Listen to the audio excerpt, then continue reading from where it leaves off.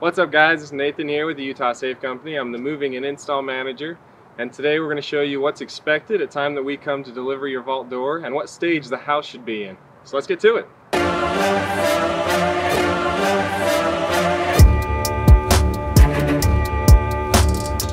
So here in southern Utah we have a ton of clients that have custom home builds and we decided to come today during the building process to show you what's expected at time of delivery. Before the vault door gets delivered, a path inside the house needs to be cleared of all materials at least 5 feet wide. It also needs to be brought in before drywall and flooring are installed. The framing needs to be 3 inches offset from the rough opening for the vault door to overlap.